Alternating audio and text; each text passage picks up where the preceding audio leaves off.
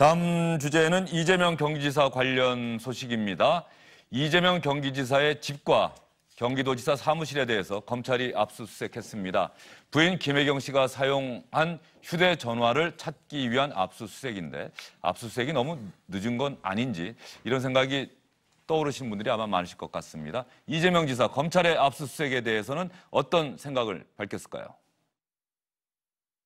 어, 뭐 검찰이 일상적으로 하는 수사 활동이니까 어, 최대한 에, 압수수색에 빨리 또 충실하게 협조해서 끝내고 어, 업무에 지장이 없도록 하겠습니다. 어, 저도 이 과정을 통해서 음, 이 사건의 실체가 빨리 드러나서 어, 제 아내가 좀 자유롭게 되기를 바랍니다. 고맙습니다.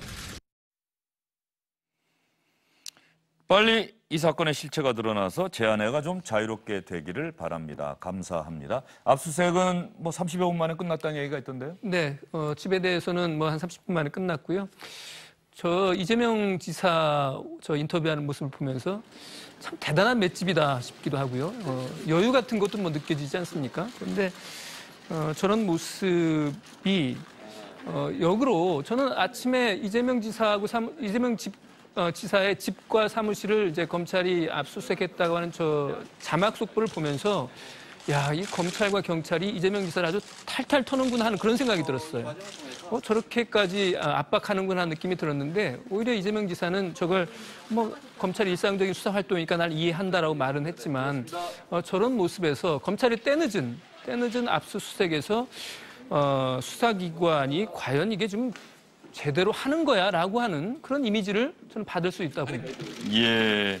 검찰의 압수수색 수사 절차상으로는 당연한 건데 말이죠. 휴대전화가 아직도 있을까요? 실제로 보면은 그게 뭐 핵심적인 예. 그 증거가 될 수 있는 부분들이 있는데요. 저는 맷집이 아니라 저는 개인적으로 보면 이재명 지사의 초조함과 절박함이 여실히 드러난 거라고 봐요.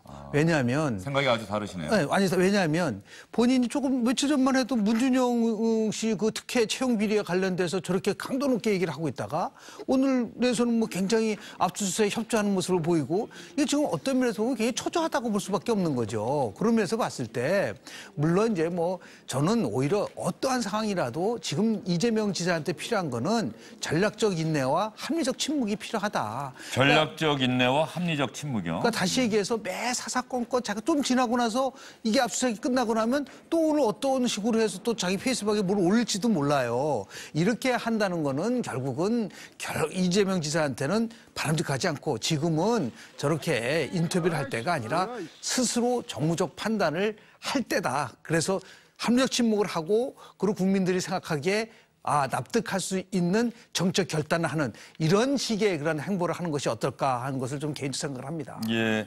최 교수님은 그렇다고 한다면 이재명 지사에게 지금 필요한 건 뭐라고 생각하십니까?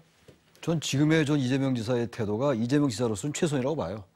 아까 같은 경우도 인터뷰라기보다는 기자가 물어보니까 답변한 거거든요. 예. 그렇기 때문에 이재명 지사는 맷집, 저도 맷집이 대단한 것 같아요. 아까 윤철 위원 말씀처럼. 저 정도 막 조여오는데 여러 가지 혐의들이 지금 있잖아요. 의- 의혹들이. 저렇게 여유를, 속마음은 어떤지 모르겠는데 여유를 부린다는 게 이재명 지사가 어떠한 어떤 자신감이 있는 건지는 모르겠고요. 아무튼 근데 아까 저, 안- 저 건에 대해서는 좀 휴대폰이 별로 없을 것 같아요. 아까 제 질문에 대해서 없을 것 같고요. 휴대폰이 만약에 없다면 smoking gun이 없는 거예요. 여러 가지 정황 증거들은 나오고 있다 하더라도요. 적어도 이제 혜경궁 김 씨의 소유주가 누구냐 그거예요. 트위터 소유주가 누구냐 그 문제에 관한 얘기인데 만약에 휴대폰을 찾지 못하면 smoking gun이 없는 것이고 아마 검찰이 이걸 입건하지 못할 수도 있어요. 이 건은 예. 다른 뭐 형 강제 입원 이런 건은 또 모르겠는데요. 그건 뭐 지금 어, 그 보건소장들 진술도 나오고 있기 때문에 모르겠으나 저도 이 혜경궁 김 씨의 실제 투- 트위터의 소유주가 누구냐 이 부분은 휴대폰 없으면 못 찾을 것 같아요. 저는 검찰 수사 전공은 아니지만 그래서 저 지금 이재명 지사의 태도는 이재명 지사 할 수 있는 최선이다. 저는 그렇게 생각합니다. 예. 알겠습니다. 뭐 경찰은 어쨌든 휴대전화가 없는 상태에서도 혜경궁 김 씨라는 트위터 계정의 실제 주인이 이재명 지사의 부인 김혜경 씨다 이렇게 또 결론을 내렸는데 검찰이 과연 그렇게 이야기를 할지 그 부분은 이제 다음 달 13일 기소 시- 한까지 한번 지켜보면 알 수 있을 것 같고요. 이재명 지사와 관련된 소식은 잠시 뒤 이정열 변호사와 이야기를 나누고요.